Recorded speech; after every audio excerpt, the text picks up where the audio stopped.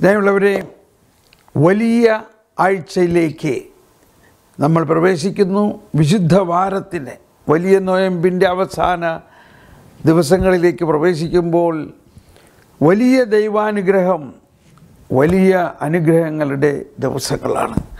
എന്നാൽ ഇത് നമ്മൾ സ്വന്തമാക്കണമെങ്കിൽ ഈ ഏഴ് കൂതാശകളും ഈ വലിയ ആഴ്ചയിൽ തന്നെ സ്ഥാപിതമായിട്ടുള്ളതാണ്.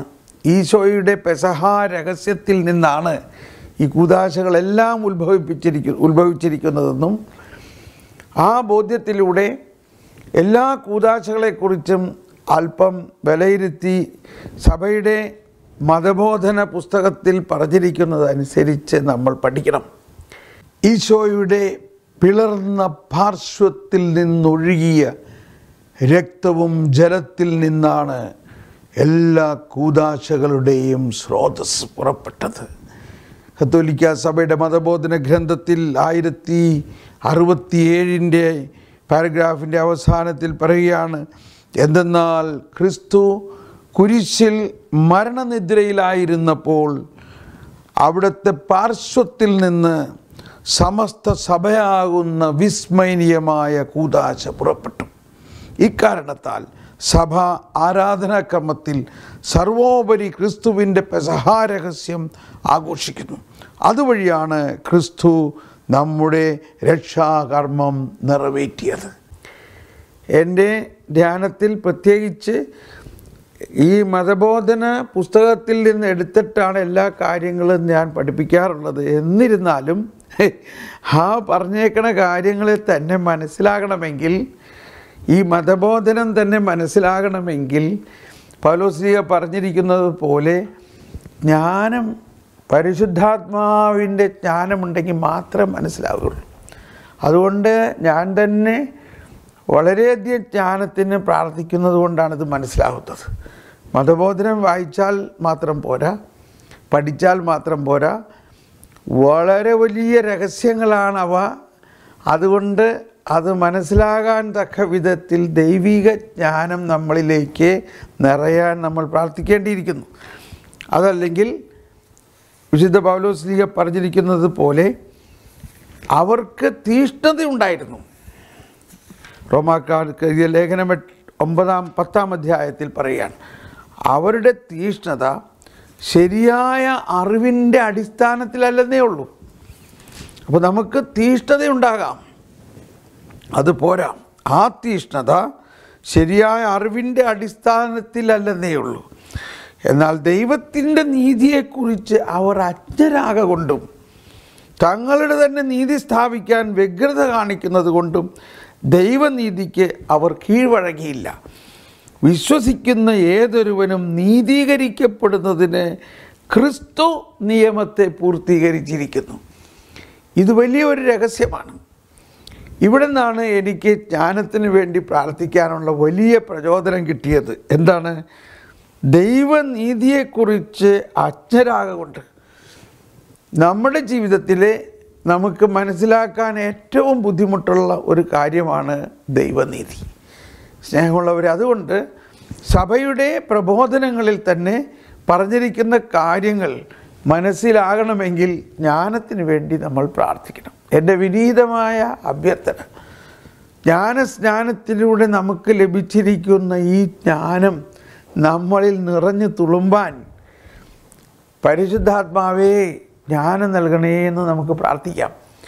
ഈ പരമ്പരയിൽ പ്രത്യേകിച്ച് എല്ലാ കൂതാശകളെക്കുറിച്ചും അല്പം സഭയുടെ പ്രബോധനങ്ങളനുസരിച്ചും നമ്മൾ ഓരോ വിശ്വാസിക്കും മനസ്സിലാക്കേണ്ട അത്യാവശ്യം കാര്യങ്ങൾ വിവരിക്കണമെന്നാണ് ഉദ്ദേശിക്കുന്നത്.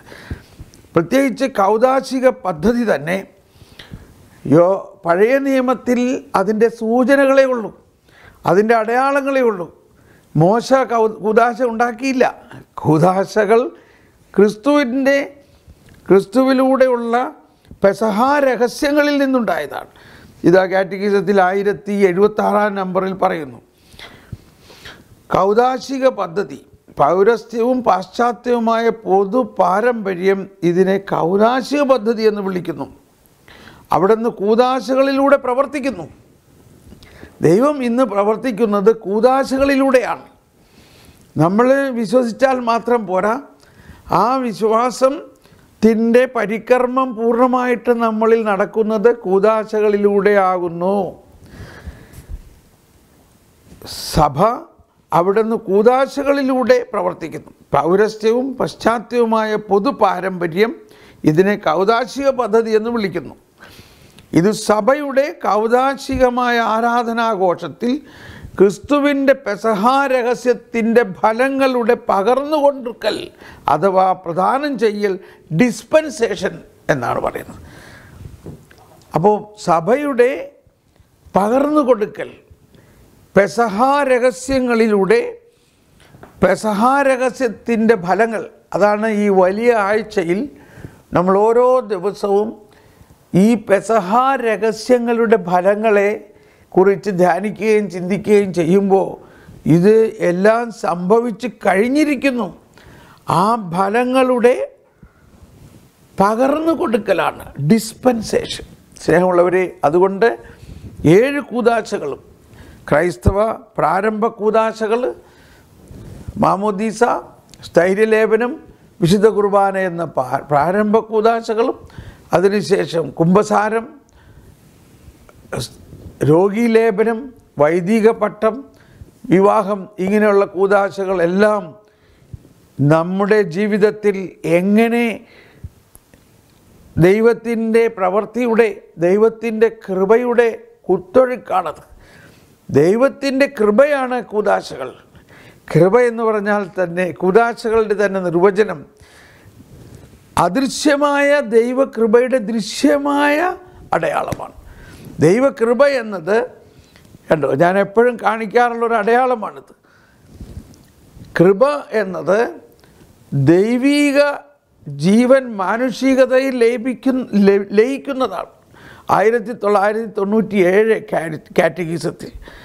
തൊണ്ണൂറ്റിയെട്ടിൽ പറയുന്നത് അത് മനുഷ്യന്റെ ബുദ്ധിയെയും അവന്റെ ഇച്ഛാശക്തിയെയും രൂപാന്തരപ്പെടുത്താൻ കഴിയുള്ളതാണ് ഫ്രീ വില്ലിനെയും ഇന്റലക്റ്റിനെ തന്നെ രൂപാന്തരപ്പെടുത്തി അവനെ പുതിയ സൃഷ്ടിയാക്കുന്നതാണ് പുതാശ അവൻ എന്തെല്ലാം ചിന്തിച്ചാലും പൗലോസ് ക്രിസ്ത്യാനികളെ പീഡിപ്പിക്കാനായിട്ട് ഡമാസ്കസിലേക്ക് പോകുമ്പോൾ കർത്താവിന്റെ കൃപ കർത്താവിന്റെ ആത്മാവ് അവനെ സ്പർശിച്ചു. കണ്ടോ? അവന്റെ ഫ്രീ വില്ലനുസരിച്ച് പോവുകയായിരുന്നു നിലവേക്ക് പോകാൻ പറഞ്ഞിട്ട് താർശിഷിലേക്ക് പോയ യോനായും ഈ ഫ്രീ വില്ലനുസരിച്ച് അവർ പോയത്.